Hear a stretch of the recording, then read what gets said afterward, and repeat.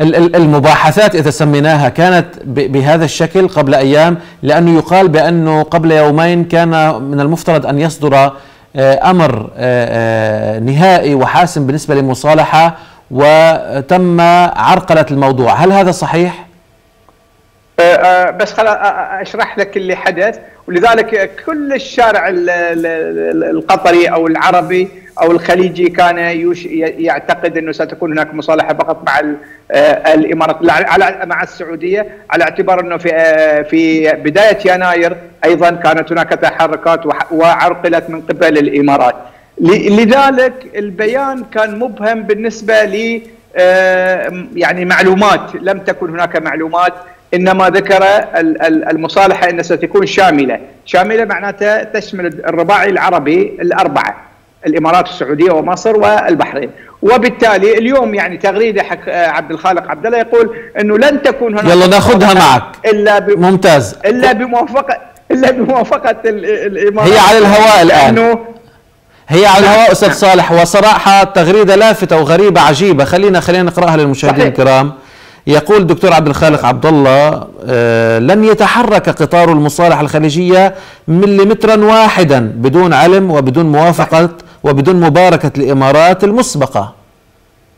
طيب. هذا يوشي أستاذي. نعم. هذا يوشي بأنه آه، يعني آه، أبعدت الإمارات عن هذا. ويعني أنا كمواطن قطري حقيقة لا يعني لا يمكن أن أتقبل إنه في يوم ما ستكون هناك مصالحة. وإن كانت آه، لربما في التاريخ سيكون هناك مصالحة. لكن ما ما موجود في في دواخلنا كمواطنين قطريين أعتقد إنه من الصعب أن نتقبل من يسيء لك ونصافحه في النهاية ونقول عفى الله عما سلف، لا ما في مع تقديري لهذا لهذه الآية تستخدم في أمور أخرى لكن بهذا الشكل أعتقد إنه من الصعب إنه تكون هناك مصالحة، لكن إذا كانت هناك ويعني بيان الكويت الشامل يوشي بإنه كل دول الخليج وافقت أصلا على المصالحة الشاملة والتي كما يقال الآن ويتردد أنه ستكون في قمة البحرين قمة مجلس التعاون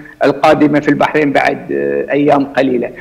كنا نتوقع أنه خلال الفترة الجاية هذه يعني خلال الأيام اللي اللي بعد ما أعلن هذا البيان أنه آه، المملكة العربية السعودية تصدر بيان ب آه، يعني آه، بما ستقوم فيه سواء كان بفتح الاجواء سواء كان برفع الحصار سواء كان ب يعني إزالة كثير من الأمور التي قامت فيها ضد الشعب القطري مع الأسف وهنا أقول الشعب القطري.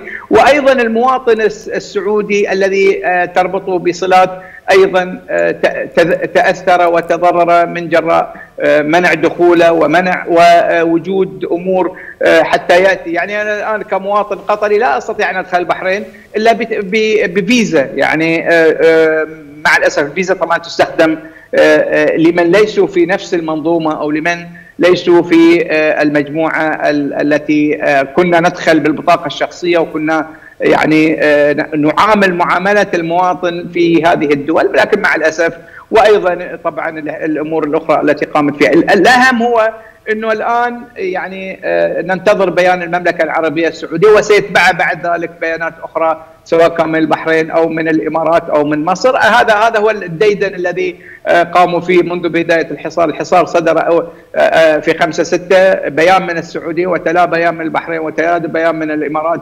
ومن مصر نتوقع إنه آه، في قادم الأيام إنه يكون هذا البيان آه، معلن ومعروف. ما هي الآليات؟ إلا إذا ترك لي آه، قمة مجلس التعاون وفي بيان الختامي للقمة سيتم إعلان ذلك. لا لا يعني مثل ما قلت لك المعلومات كلها تسريبات كلها يعني اجتهادات مغردون في التواصل الاجتماعي.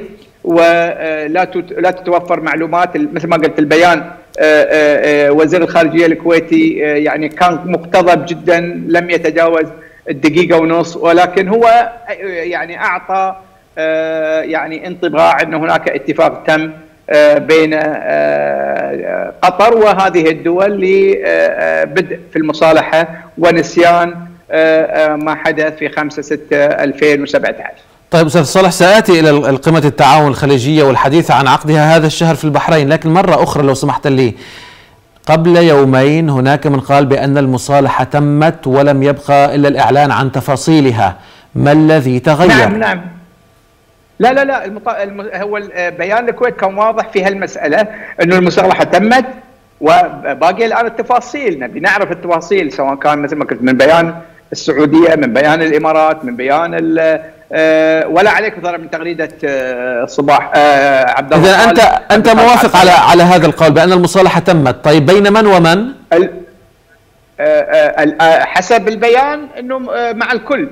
الأربع دول تمت يعني الموافقة على المصالحة وانتهى كما قال وزير الخارجية.